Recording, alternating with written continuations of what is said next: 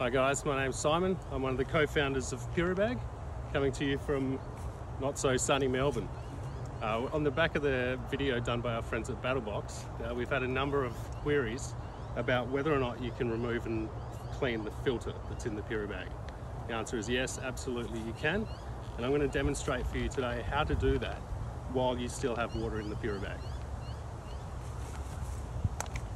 We lay it on the ground and all you need is a pocket knife or a key or anything like that uh, to lever this tap off.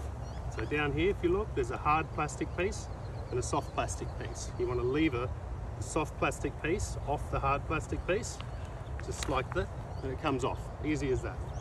So we'll put that off to the side. Now to take the filter out, it's super simple. All you need to do, get some leverage and put your thumb in there and push it down just gently work it so you don't break the filter and it pops straight out. Okay, so we're going to put the tap back in. Sorry, the spout. Uh, and so you don't lose the filter up in the bag, just grab it and work it outwards to the bottom of the bag, like so, if it doesn't get stuck. Like this, hold it there. You take the seal off like this, put that down, and just work the filter out like that. And there it is.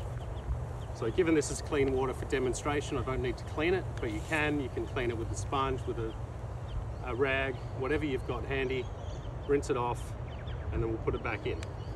So just the same process in reverse. You put it back down into the Puribag, fold the flap over, with the purple sealing bar across the bottom. Seal that back up, like so.